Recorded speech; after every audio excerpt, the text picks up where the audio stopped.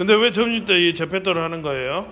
선생님이 이제 안녕하세요. 구독, 좋아요, 알림 설정까지. 의미가 있을까요? 점심 때 왜 재패도를 하는 거예요? 무슨 재미가 있을까? 그러게요.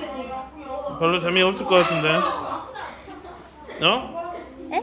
왜 재패도를 하는 거예요, 점심 때? 점심 때 쉬어야지.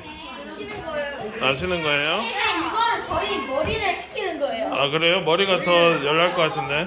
맞는 말인 것 같아. 어? 오, 역시 팽톡을 하는 사람 발견. 영어 하는 사람 발견. 마이크를 누르고 따라 해보세요. 아들이라 따라 할 수 있을까?